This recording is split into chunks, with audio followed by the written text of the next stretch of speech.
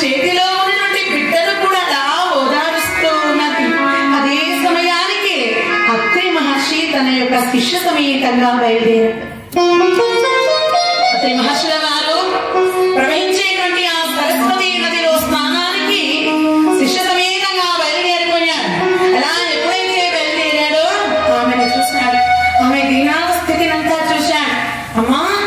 ఏమిటి తల్లి? ఎందుకలా ఏడుస్తున్నావు. నీ భర్త మరణించినందుక అయ్యో స్వామి నా భర్త చూశారా?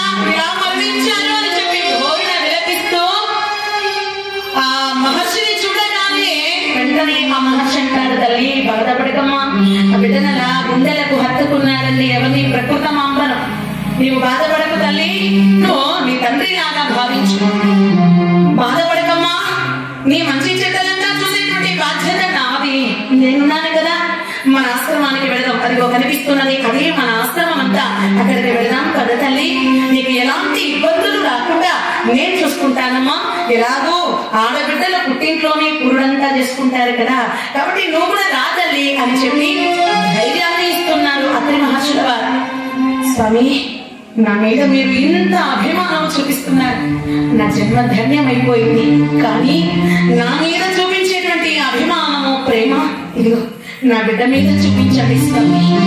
సతికి పతి ఏ ప్రత్యక్ష దైవమని అంటారే. నా భర్త లేకుండా నేను ఒక్క క్షణమైనా నిలవలేదు నా భర్త చూడకుండా నా భర్తతో మాట్లాడకుండా నా జీవనం సాగదు.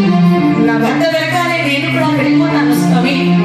నా బిడ్డ భారము బాధ్యత అంతా మీరే చూడాలి అని చెప్పి ఆ బిడ్డను అతి మహర్షుల వారికి అప్పగించి భర్త పాదాల దగ్గర కూర్చొని వాయు